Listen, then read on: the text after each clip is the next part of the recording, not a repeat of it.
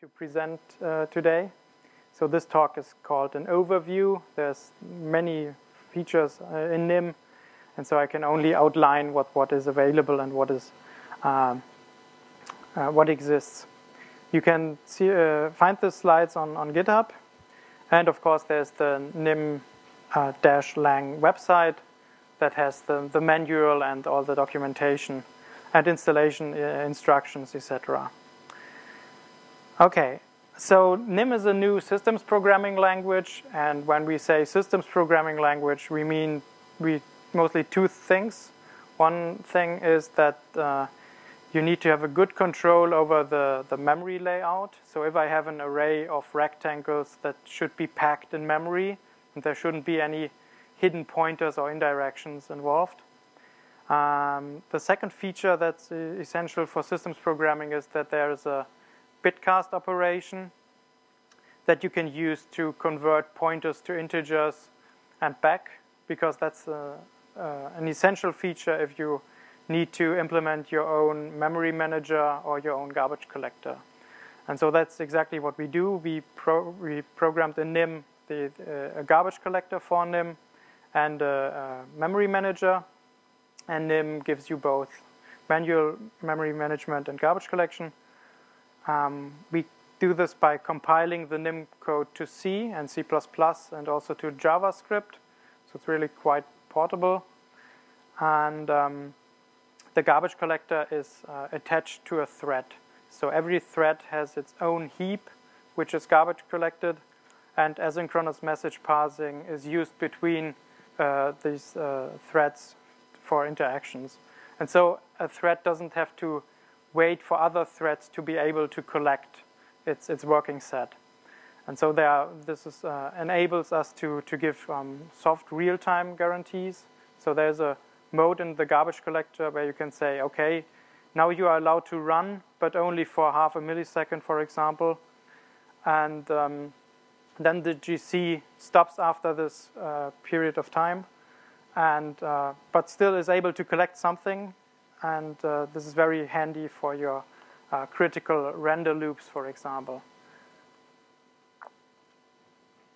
Yeah, and apart from that, the design goals were to be to have an efficient, expressive, and elegant language.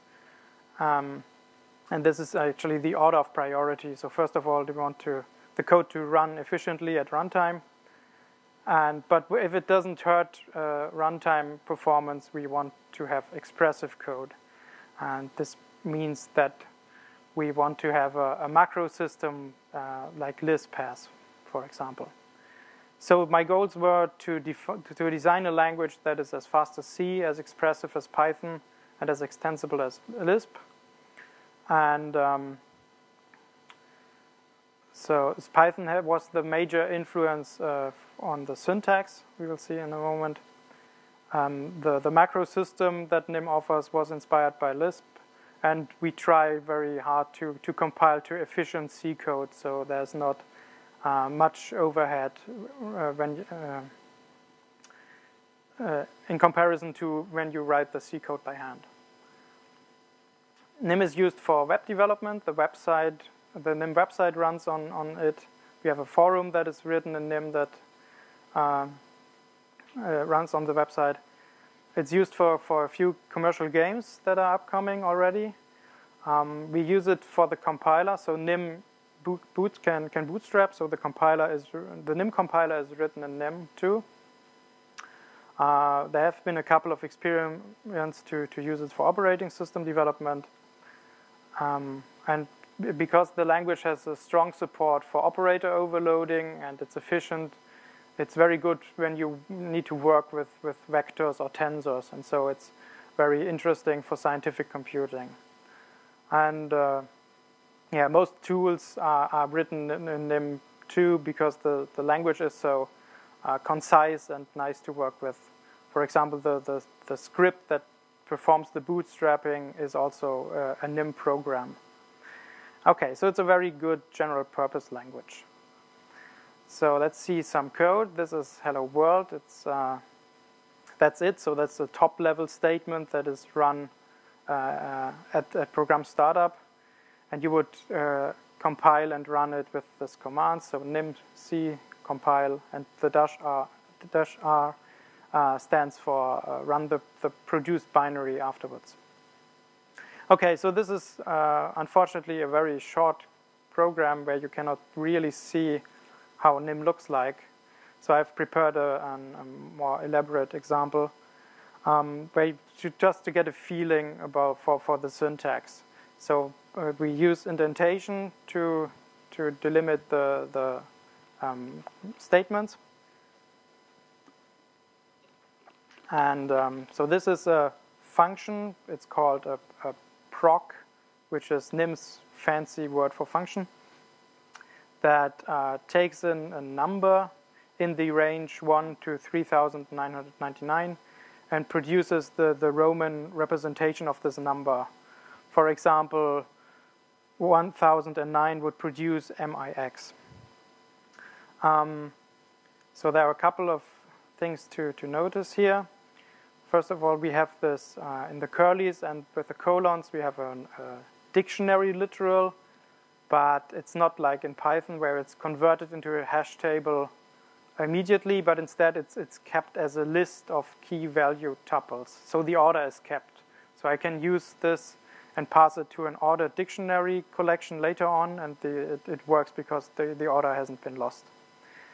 Um, another uh, thing to notice here is that the, since it returns a string, we have a result variable that's uh, implicitly declared for us.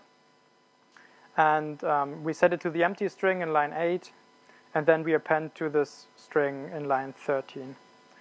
Okay, so and the, the details of the, the algorithm are not that important. Um, but I said, let's see if it works. Um, oh, I think.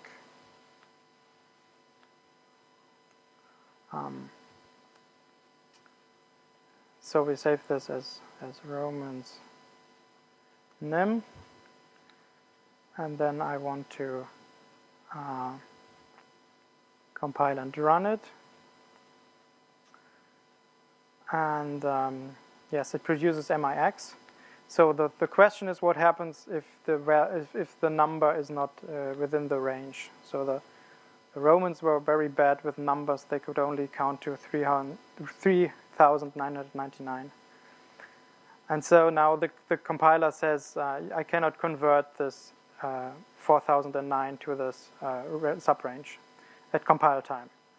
Okay, but um, if I store the value in a, in a variable, then the compiler does not know that it's out of range. And then uh, it produces a, an exception at runtime instead and says, okay, this is out of range. Okay. Um, now I will talk about more about the syntax so that we can look at more complex uh, code examples. So function application looks like in um, almost every other programming language. You can pass zero arguments to the f, one argument, or two arguments. And then there's lots of sugar to write the same. So I can say my string.len instead of length of my string, so that to give it an uh, object-oriented feeling.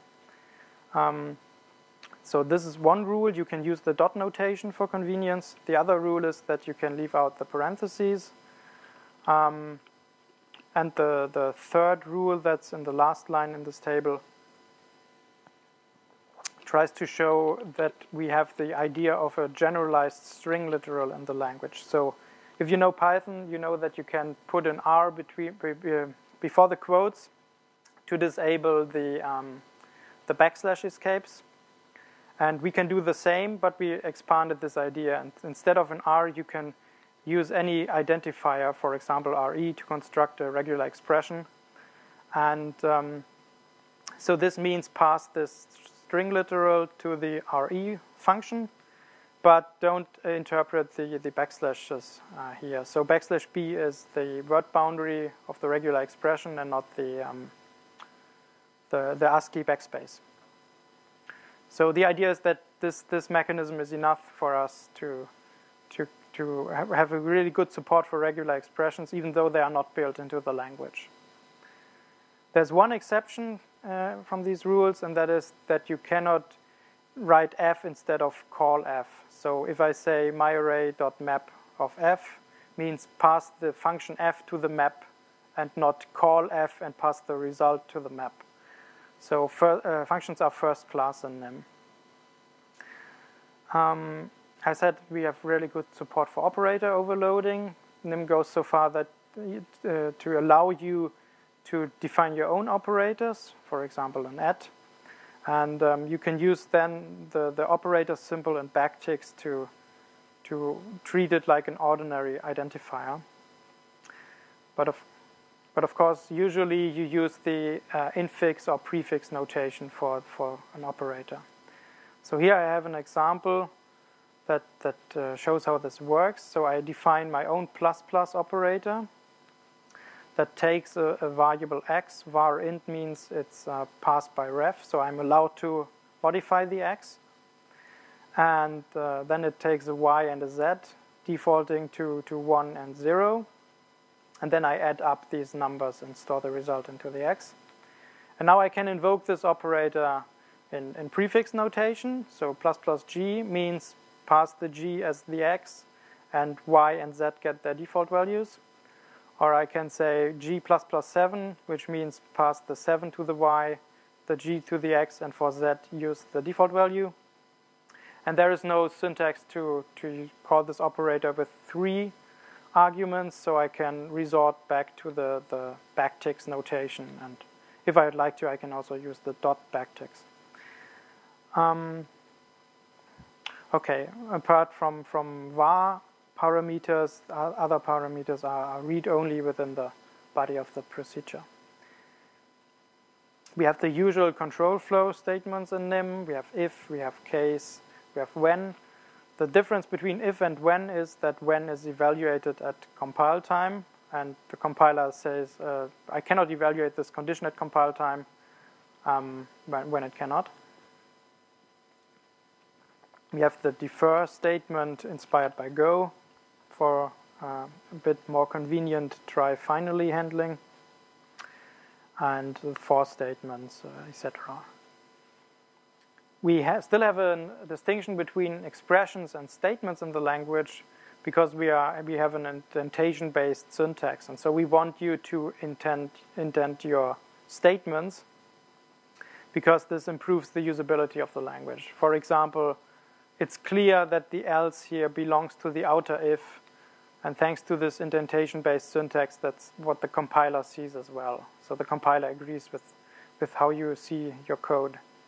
However, for, for expressions, we want a bit more flexibility. So we want to be able to split up long lines after a binary AND operator, for example, or after a comma, or after an uh, open bracket. And so this is allowed as well. So it's quite flexible. And also if and case are available as expressions, so uh, it doesn't uh, lose any expressi expressivity. So if you are a functional programmer, you can be happy. Um, a few words about the type system. NIM is strict and statically typed. So statically typed means every expression has a type that we know of at compile time. Strict mostly means that we are very conservative with what kind of implicit conversions are allowed. For example, you cannot write if 3 because 3 is, a, is an integer and not a boolean. So you won't need to write if 3 is not 0 or something like that. We then weaken the type system for the metaprogramming. Um, we will see an example of that, just to, to help the programmer because it can be tedious to actually write, write out the types or even be impossible. Um, but this means so for, for example, for macro invocations, the types might not be checked, but after the macro expansion, then the checking occurs. Um, we support subtyping via single inheritance, so you can say this object inherits from some root object. We also have subtyping in the form of the range um, construct that we've seen. And also there's a type natural, which is like which is a subtype of int, so it's from zero to the highest value that's available for int. And um, So this natural is actually built into NIM in, into NIM's system module, which is like Haskell's prelude. So it's always available for you, and you are encouraged to use natural rather than uh, unsigned integers, because natural it behaves properly when with with subtraction, for example. Um, we also have generics, so you can have a hash set of strings, and then we have concepts on top of that that are like uh, for, for the generic type system, additional constraints that you can, can write down as a concept. So in a way, it's a type system for the type system, uh, heavily inspired by C++. Um, we lack interfaces in the language. Instead, you can use a tuple of closures, which is the, the common workaround that has a bit more overhead, but they come up so rarely that it doesn't really matter. Um, we embrace the over the idea of to of overloading. For example, in NIM, the toString operation is so just the dollar, and it's of course predefined for integers and for booleans, etc. But of course, you can then define your own dollar operator for your user-defined um, type, and it should still work with the existing dollar operators. So we use overloading for that, and because of that, we uh, don't have any Hindley-Milner type inference in the language because they Hindley Milner type inference doesn't really mix with overloading well. Then the type checking becomes NP complete. That means that this could be could take a long time to compile Nim code, and so we try to avoid this trap. We have uh, a limited amount of flow typing in the language. The idea of flow typing is that the types know the control flow of your code. So here I have a ref int. So ref int is a an, a traced pointer, so it's subject to garbage collection. And the constraint, additional constraint is that it cannot be nil. And now I have an, a variable x of this pointer type, which can be nil. And I'm allowed to pass it to the f because I have this check here before it. So the, the, the type ch uh, checking depends on how the how the control flow graph uh, looks. We also have an effect system in NIM. So the idea is that in addition to a type, a function can have an effect, like it reads some I.O. operation or it executes something. And this is modeled as tuples. So the idea is that it's orthogonal. So I can have a return type, and separate from the return type, there is this uh, effect, the list of effects that the function might have. We'll see in a, an example. And roughly speaking, every effect is uh, inferred, and types are not inferred, but it's it's uh, uh, just uh, a rule of thumb. So we use the effect system to track side effects. The definition of side effects for NIM is access as a global variable, or of course calls a function that might access a global variable. So there's some transitivity here. We also use it to track exceptions, so we can infer that your code can raise an I.O. exception, and then you can uh, explicitly annotate that you don't want that, and then the compiler checks against that. But it's all optional, so if you just want to use NIM to hack something uh, together, then it doesn't bother you. It's all uh, optional. We also track tags, like, as I said, is this a reading I.O. operation? Is this a writing operation? Does it have a time effect, which means does this operation in some way depend on the clock of your CPU, which is usually bad when you want to test something. And then we split it up, so you can also say uh, this reads from a directory. And of course, exec IO effect is very important, so this means that you are allowed to run some shell scripts, for example, and this would have been very helpful, for example, to prevent the, the shell shock bug, which was caused by some script language parser that didn't really parse but also execute code. So, okay. Um, we also use the effect system to track locking levels. So you, we can detect uh, deadlocks at compile time. And finally, we track GC safety. So the, the point here is since the, every thread has its own heap, You, you cannot have wild sharing between threads via global variables. And so this is what the GC safety means. Uh, that means uh, you it, something is GC safe when you don't access a global variable that is subject to garbage collection. And now that the definition of side effect means you must not access any global variable, it's a, this, this nice property that if you don't have side effects, it's automatically GC safe. Um, so I have a very short example for the effect system.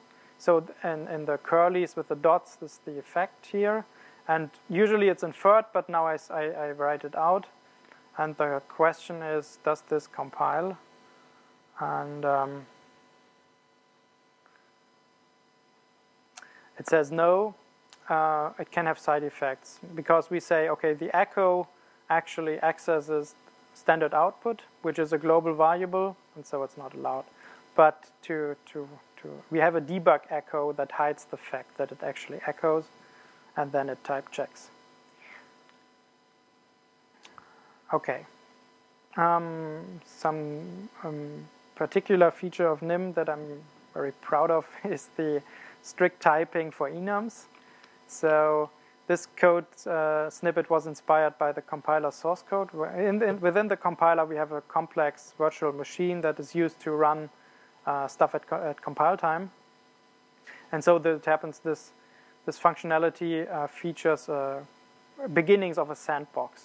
So I can say I have an enum which de describes what uh, kind of restriction uh, should be applied. So I can say allow the dangerous cast operator in the language or allow the foreign function interface, which can also do uh, nasty stuff, of course. Or I can say allow infinite loops and then the, what, what can be passed to this function that runs some NIM code as a string is a combination of these flags. So I can say um, default, and so it's a set of these flags. So I can say uh, the default is uh, to allow the cast and to allow the foreign function interface, but do not allow infinite loops. Um, and this is uh, still strictly type safe. So now compare this to the C++ solution, where you I, I made a typo here, so uh, incidentally allow foreign function interface and allow infinite loops map to the same value. That's pretty bad. But of course, the, the real problem is that it's not type safe because what, what do I what's the type of this flex in C++? It's unsigned int. So can I pass 700 to this? I don't think so. So it's a, it's a loophole in the type system. Uh, okay. So we have seen proc, which is function. There's also iterators in the language, so NIM is a, quite a big language actually. Um, templates and macros we'll see in a moment, which are the foundation for the macro system and the meta-programming capabilities. We have methods that uh, introduce dynamic binding, which is required when you have inheritance. And converters can be used to extend the type system. For example, you can say, uh, I think it's fine to treat an, an, integer like a boolean, so I'm writing a converter that converts into booleans, and then if 3 would, would type check. If this converter is, is in your scope, actually. Okay, so many languages now offer these, this null coalescing operator, so the double uh, question mark. Uh, and in NIM, we don't have to use it. We don't have to build it into the language because we have a macro system instead and because we have user definable operators. So here I have a template that says question mark question mark. I don't care about the types, so I just say this is untyped and the result is untyped. Don't, don't bother me with types, check it afterwards. And uh, of course now I need to check if A is nil, and if so, I want to return B, otherwise I want to return the A. But since this is, a template is kind of like a define uh, in C, C's preprocessor, uh, you need to watch out that the A is evaluated only once. And so I store it in a, in a let variable x here so that I can, can use it multiple times in a safe way. So the, the macro system is hygienic. This means that the local x here is not visible outside of the uh, expansion of this uh, quotation mark, quotation mark operator. And I don't need to care if, if, there's some X otherwise in this in some uh, surrounding scope that could confuse the macro system. Um, yeah, and then I say I have a variable X of type string, so the default value for string is nil, so this would actually say, okay, I pick the woohoo instead and would print woohoo. Um, another thing that you can do with templates is to create domain-specific languages. Um, here I outline an idea of how to use templates to, to give us a domain-specific language that produces HTML code. Um, so I have a template called HTML, and I pass main page as the name. And uh, then with the colon and indentation is another syntax to, to pass a whole body of code to the template. So this echo statement is then passed as the body. And since I want don't want to be bothered with types, I can leave out the types here. So it's short for colon untyped. And so this template then produces a function of the given name that just runs the body but wraps it in this HTML strings with the um, angle brackets. And now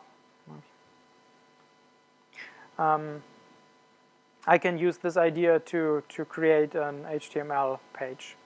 So if I have more templates like HTML head, title, body, UL um, templates, then this, this would uh, work. And the template head pretty much looks like the template HTML, except that it doesn't introduce a new procedure, but just takes the body and wraps the body in the uh, head and likewise for the title and li templates. And here is the, the percent is like in Python the string uh, substitution operator, and so the dollar one is then replaced with this x here. Okay, and after we do perform all these uh, macro substitutions, the the main page HTML would just look like Nim code that does a couple of uh, string operations.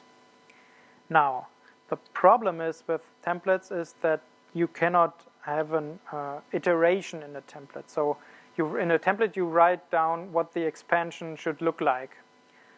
But um, if you need more than that, you need to switch from a template to a macro.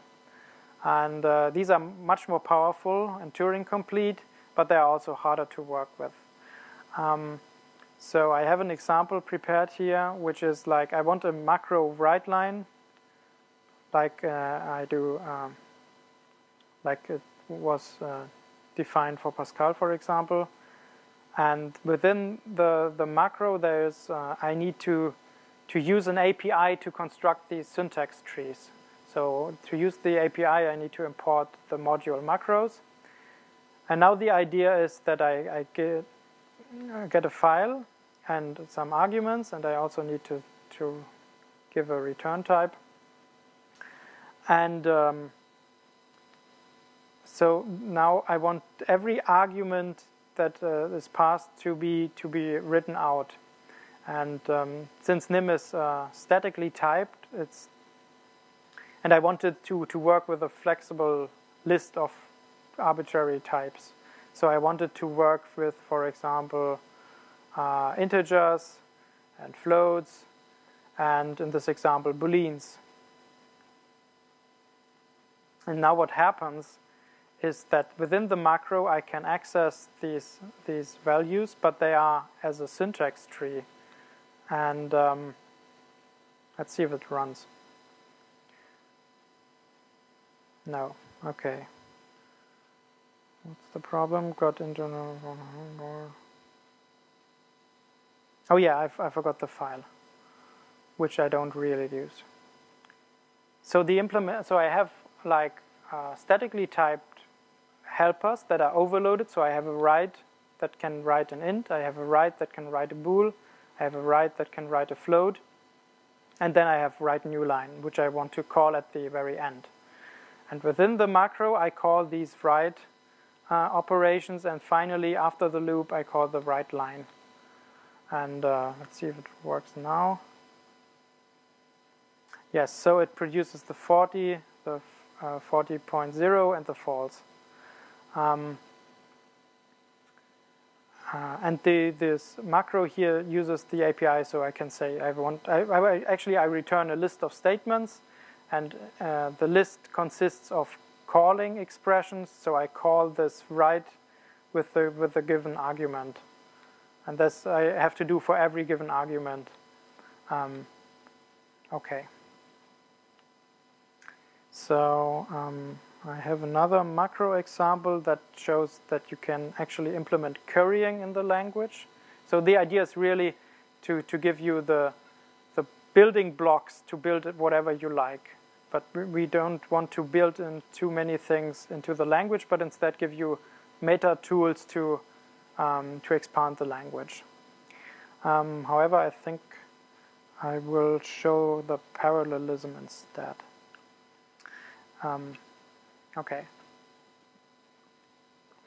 So this is a simple example that shows how you can uh, introduce parallelism within this framework of uh, thread local heaps.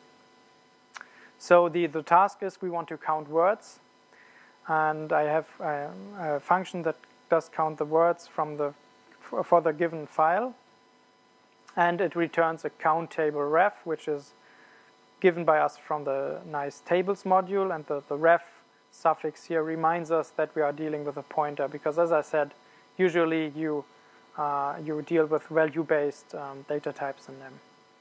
Okay, so and then we say we have a new count table of type string and then we, we iterate over the file, we read the whole file into memory and we say split it on the white space and everything that is split uh, between white space is, does count as a word.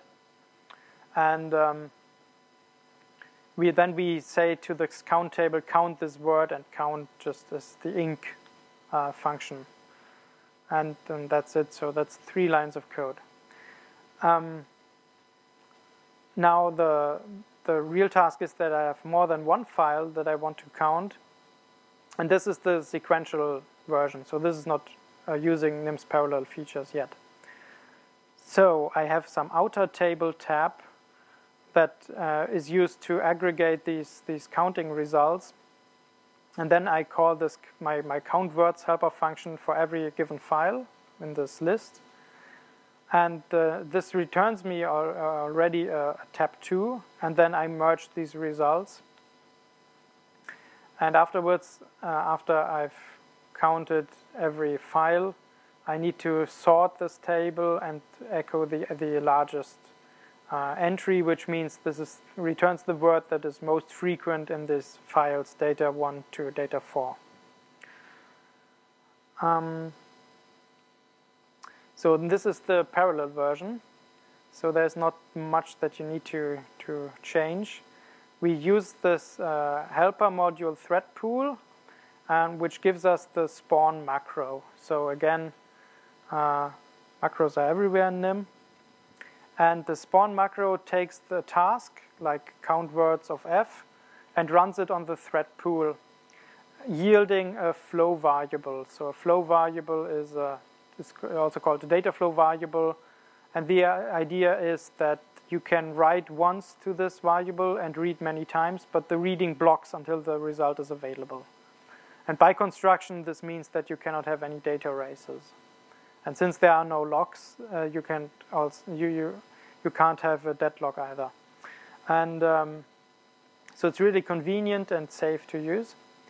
Now um, there is this blocking read operation. This is spelled as a roof, and I need to watch out that I don't read too early. So if I just say spawn count words and would read here with a roof, this would mean that every parallelism is already killed because uh, it says, okay, run it on thread pool and then wait for it to come back. But the wait blocks, and so I'm, I've lost.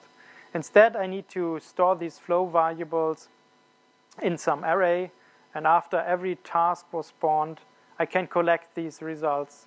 So this is the second loop here. And then again, I need to merge these results back into my actually uh, actual result table.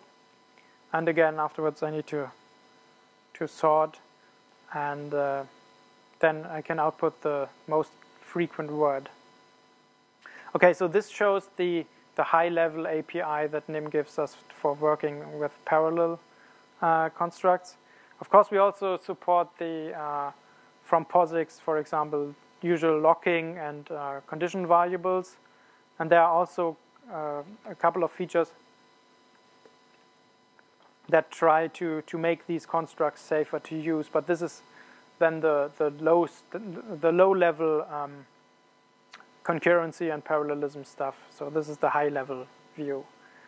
And um, as I said, when you go to the low level with locking, there's uh, um, the effect system then that tries to, uh, that does ensure that you cannot have any deadlock in your system.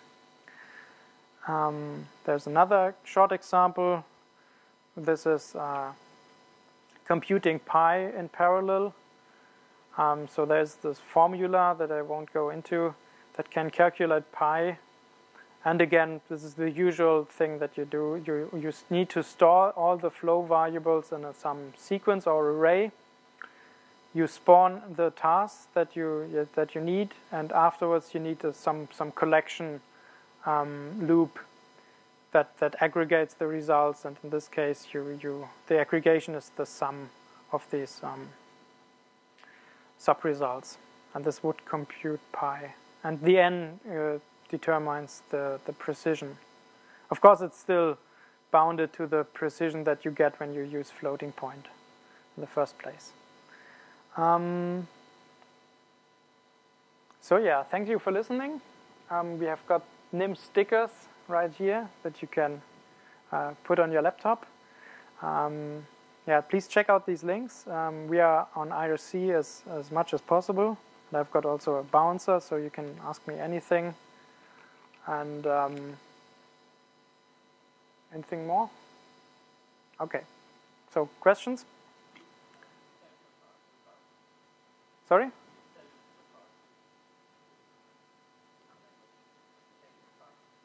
Tail recursion. No, we um, we don't support tail recursion because we translate to C, and C doesn't uh, support that properly. Um, there, there are a couple of ways to use iterators uh, to to uh, to get something like tail recursion, but it's um, it's a messy business.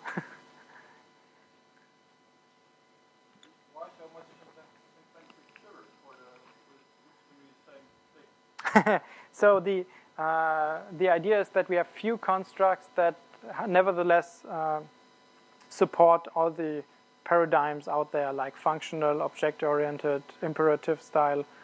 And so this is the, the, uh, the point really that you can pick your own coding style, and, but it, it really is compatible to some other um, coding style in some other module. So that's why it's only syntactic sugar and not uh, trying to enforce some kind of semantics, for example. So we really like to decouple the syntax from the semantics to to gain all this metaprogramming power. Yeah.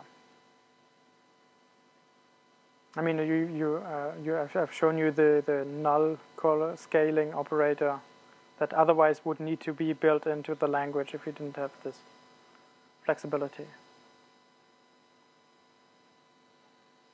Okay. Yep.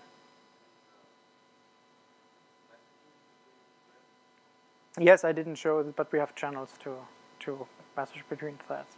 But um, yeah, so the thread pool has the spawn, which is like a one shot, it's like uh, do this and then come back later. But for more interaction with threads, you usually need uh, um, a channel. Yes.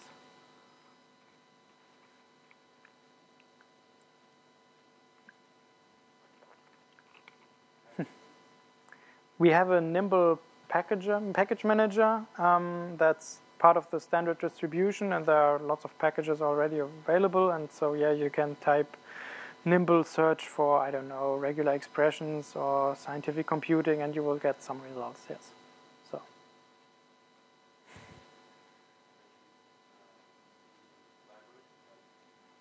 Yes, we also have very good interoperability with C++ because we can generate C++ code and so um, For example, you can also uh, interface with uh, wxWidgets, for example, which is in C++, which we, we can access without a, a C intermediate step.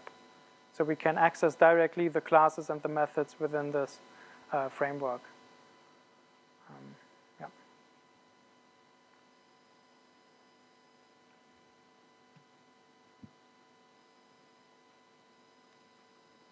Okay. So enjoy your lunch.